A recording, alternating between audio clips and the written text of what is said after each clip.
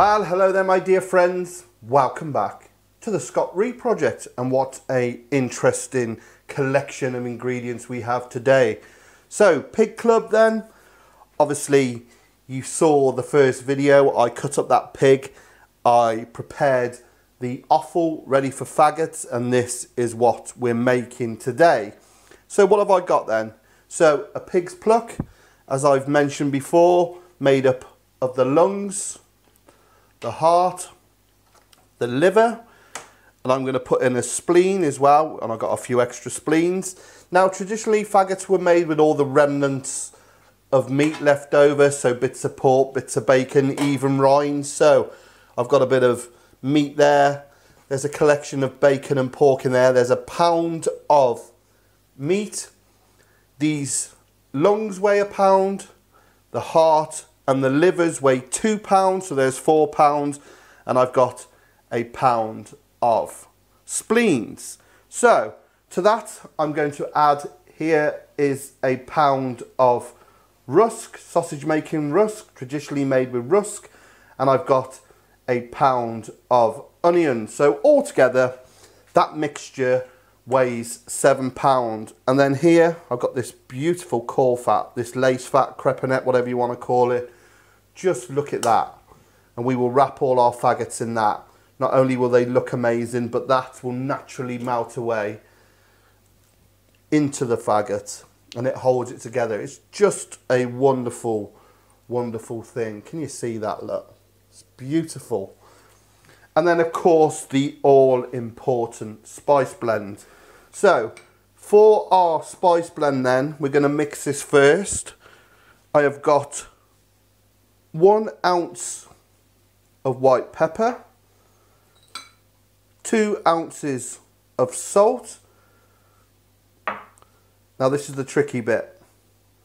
Trying to get your scales to go as low as possible. I'd say a good tablespoon of dried thyme, a good tablespoon of dried sage, and then the all important nutmeg. So I'm just going to put what tablespoon in. Now what I want to do with that is mix that up so it's all one uniform colour. So just take your time. You could put this in a bag or a container and shake it up. But you do want an even mix. And the beauty of this is if you make up a decent sized batch. Not too big though, obviously, because spices and herbs lose their flavour. You can keep some in an airtight container for your next batch. But that is our spice blend almost mixed. You can always add a bit more, you can't take it away. So,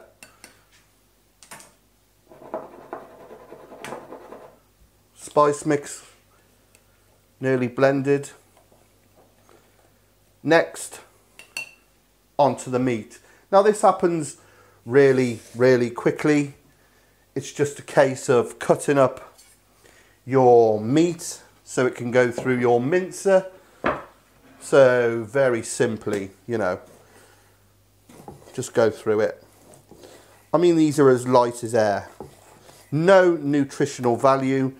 Like I've said in an old, old faggot video, they just add good texture, make your faggots nice and light and of course bulks it out. But most of all you're using all your piggy. So I'm happy with that. The heart I've trimmed this up already. But that nice pieces to go through the mincer. And then the same with the liver go through that very, very quickly.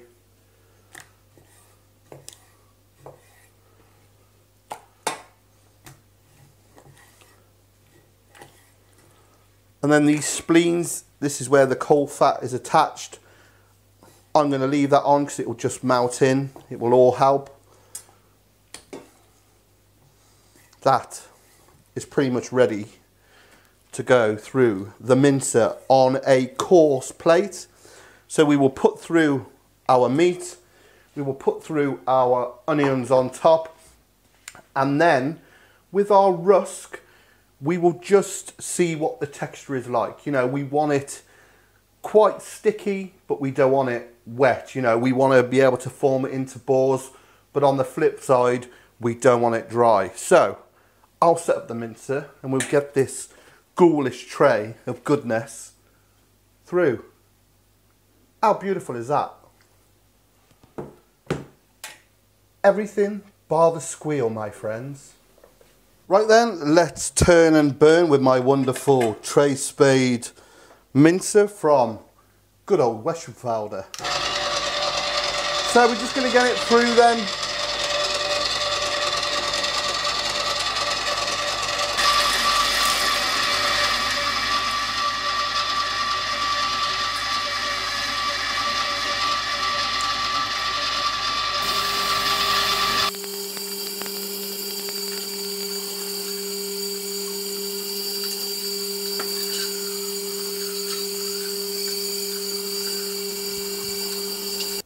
Okay then, so that's all our offal through. Next we're going to add the actual bits and bobs.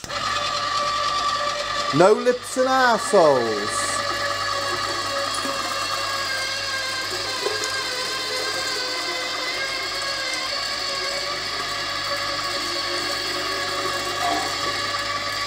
Then on top of that, we'll put our onions.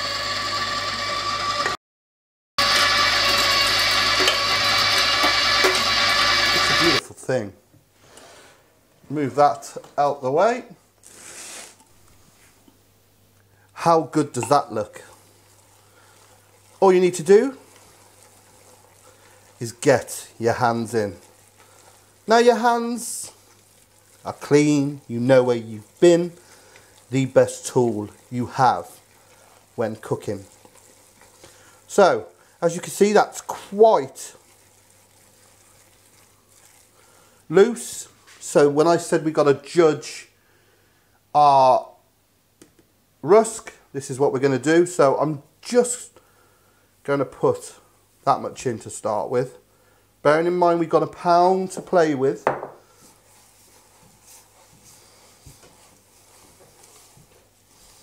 What I will do when I've got my desired texture is send it completely through the mincer one more time just to break this down a little bit more. So I'm going to add a bit more still.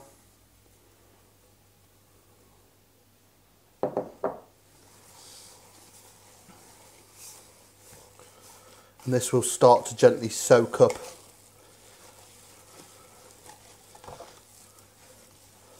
all the juices. Right, I think we're going to go a bit more. Let's put it all in. So there you go then, the pound of rusk is in. Now you can always add a bit of water to take this down, but I'm going to send it through the mincer again and that will do the trick. It's looking beautiful, but next we need to add our spice and herb mix. Smells beautiful as it is. Honestly, fresh offal like this, it's the way forward. It's beautiful, a great way to use it. Now, I may have said this before, but when I was a younger man, in my younger days, in my 20s, I used to work for a guy called Henry Deus in St. John's in Worcester. Quite possibly one of the kings of making small goods. He was predominantly years ago a pork butcher, what he couldn't do with pork and the remnants of pork ain't worth knowing. And this smell here now reminds me of him. He'd be up in his back room weighing out all his ingredients. It's a shame he took all his recipes to the grave, as they do. Such is life. Just a genius man. So there is my seasoning in. Again, just get your hands in. I'll send this through one more time. stiffened up nice now. like I said, you could always add a bit more water. Just have a look at that. Just absolutely gorgeous. Right, let's get it through one more time.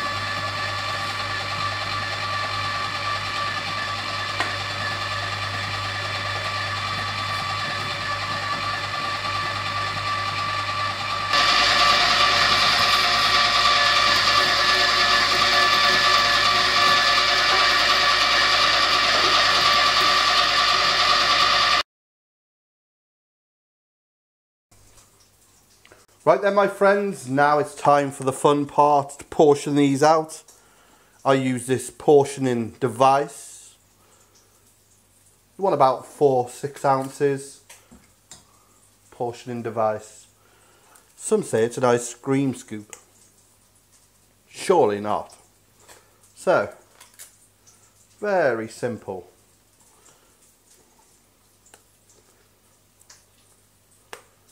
I've got a bit frying off.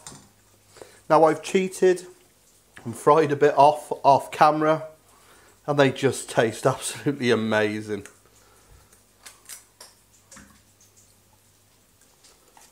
Just work your way through your mix and then we'll wrap them in the caul fat, which is fun.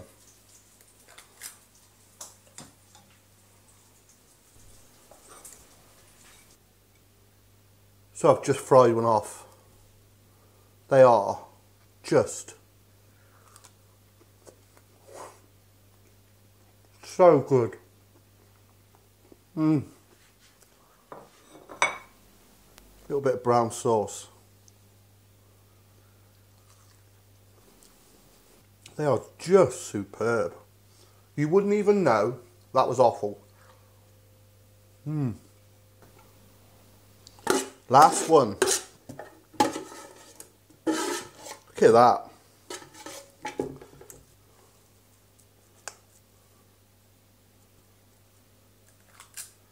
Add that one to that one there.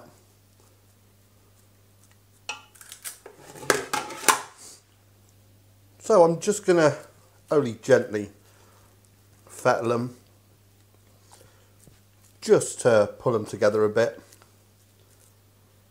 and we'll start wrapping them in that beautiful caul fat. They taste absolutely amazing. And if you don't like offal, try these. Trust me, you will change your mind. Seasoning is spot on. Texture is spot on. It's a win-win, baby. I just want to get some in the oven. I want some more. Right, that's that one fettled. Don't ask me how, but I have got sauce in my microphone. oh dear. Right, the fun part. Let me just show you this stuff now. This is that lovely caul fat just wonderful stuff. And we need, need to take each faggot and then wrap it in this wonderful stuff. Quite simple, just like that. Be quite sparing if you can. That's what they look like. Isn't it wonderful? Try and eke it out unless you can get an absolutely shed load of the stuff. So many uses.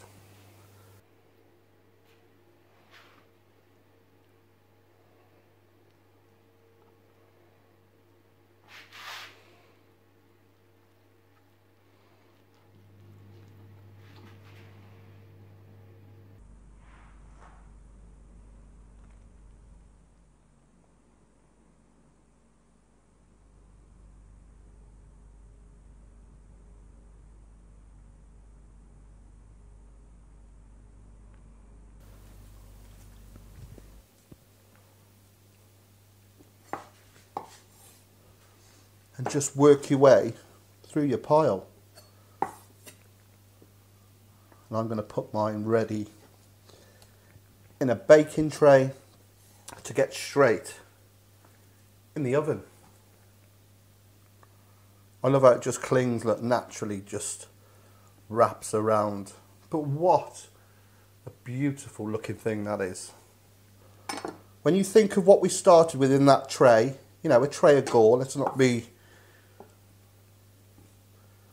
silly about it. It was just a tray of gore and now we are left with these just beautiful faggots. Taste absolutely superb. That's why I can't wait to get them in the oven. I fried that one bit off and it was just gorgeous. So slowly, slowly, catchy monkey, rappy faggot in your corley. God, I bet Dylan Thomas is turning in his grave. Have a look at those. So I've got my oven preheated to 180 degrees. See, spot of water in the bottom of your baking tray and then in the oven for 50 minutes. Have a look at those, eh? A million miles away from that pig's pluck. Gorgeous, I tell you. So I've been looking for an excuse to get my vintage ham stand out. That's a ham stand, not handstand. And it's to display these beauties. Have a look at those. They smell amazing. I know they taste fantastic. We'll let them cool down and we'll try one. How beautiful are them?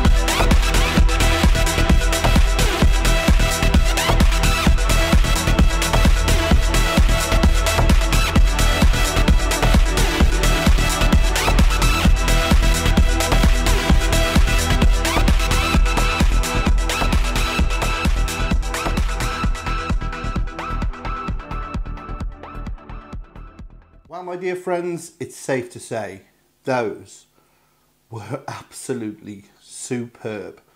I mean, I love faggots. I was raised on brains faggots. Mm. There is nothing wrong with brains faggots. Before we start slagging those off, I love them. But these are in a different league. Absolutely amazing. And it's hard to think when you look at that container full of guts really or vital organs that what comes out the other end is this. Please do give them a go. So if you've liked what you've seen here today on the SRP please click subscribe when my face comes up in this corner here. Also check me out on my social media. Facebook Scott Rea Scott Rea Project Twitter at the Scott Rea Project Instagram at the Scott Rea Project. And if you're feeling generous and want to help the channel along check out my Patreon page. But until next time when we carry on with Pig Club, where we will be doing a brawn. A brined brawn. I can't wait. Right, my friends, I'm going to have me another one of these, and then I'm going to lie down in the dark room. Take care. See you again.